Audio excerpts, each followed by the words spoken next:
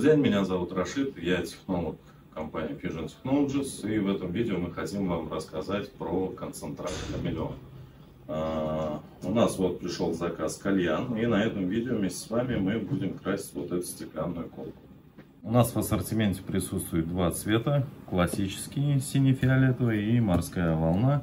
Здесь идет перелив э, зеленого, синего и желтого цвета. Э, концентрат хамелеон приходит в такой таре по 50 мл. И мы его будем готовить по классике, так же как кэнди концентраты. Подготовили наши изделия, сделали своеобразный крепеж с помощью гвоздя и термоклея. То есть приклеили за нашу нерабочую поверхность, которая не будет участвовать в покраске. И сейчас нам надо подготовить нашу деталь. Стекло никогда не матируется, то есть это без толку невозможно нанести риску с помощью абразива.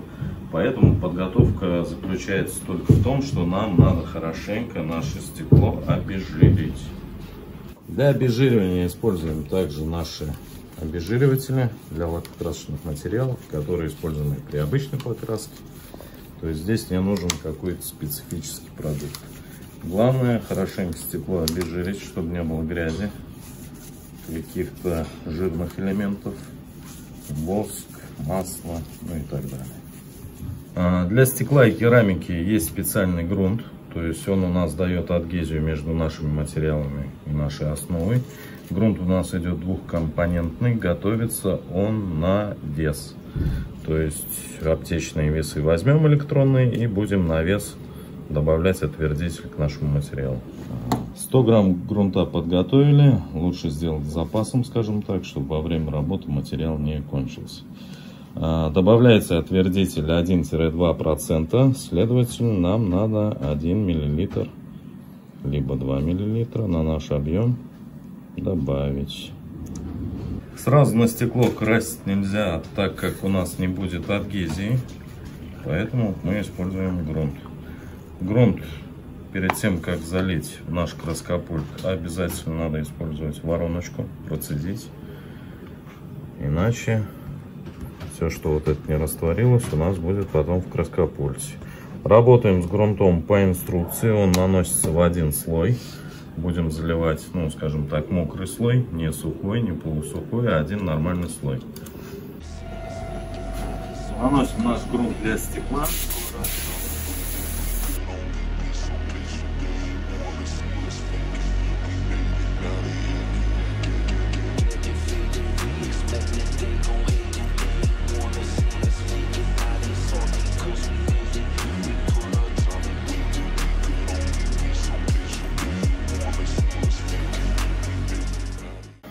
Нанесли материал на наше изделие, грунт для стекла. Грунт сохнет при комнатной температуре 8 часов, а печки при 60, ему достаточно 30-40 минут. Но если будете пользоваться печкой, опять-таки не забываем выдержать сначала, а, назовем ее межслойной сушкой. Просто материал ложится в один слой, и прежде чем отправить его в сушильную камеру, нам надо дать материалу постоять 10-15 минут, и только затем отправлять в сушку.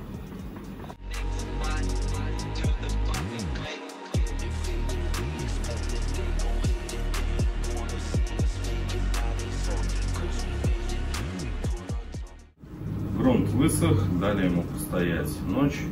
А, Матируется он 500 абразивом.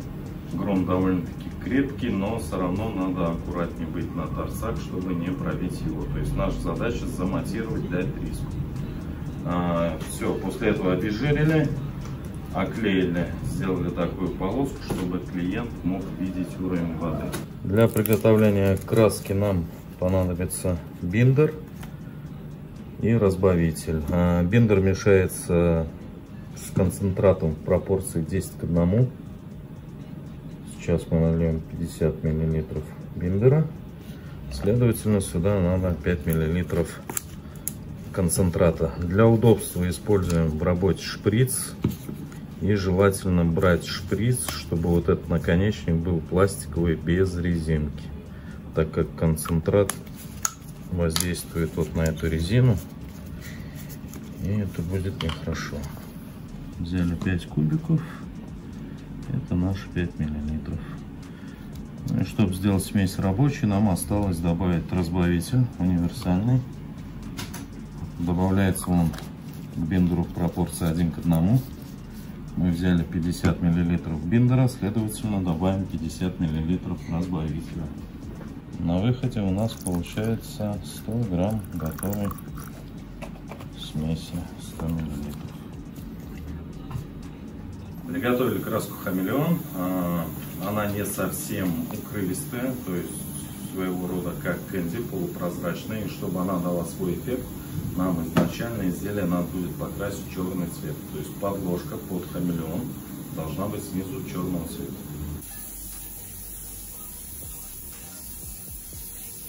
Нанесли два слоя базы, дали межслойную сушку, 10-15 минут выдержали, зарядили хамелеон, сейчас будем наносить его. А, проблем с покраской, по идее, ни у кого не должно возникнуть, так как хамелеон работает так же, как обычная база. То есть это не кэнди краска, где нужен специальный подход. Как обычная база наносится абсолютно так же.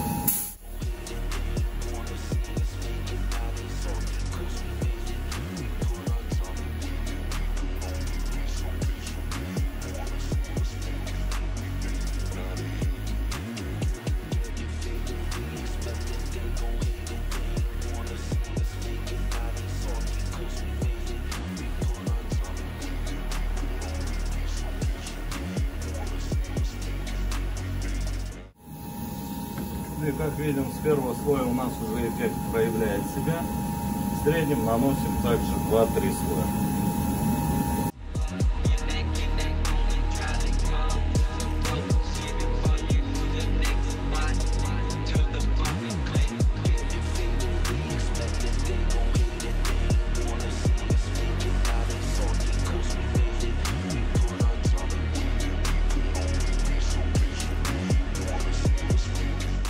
Как мы видим, со вторым слоем эффект стал ярче, скажем так, лучше проявляется. Но этого, по идее, достаточно. Разницу между вторым и третьим слоем визуально будет особо незаметно. Прошло 15 минут, можно наносить лак. Перед лакировкой, понятно, сняли оклейку. А, у нас здесь грунт, следовательно, он будет давать адгезию лака. Плачем обычным автомобильным лаком, глянцевым. Также 2-3 слоя с межслойной сушкой 15 минут.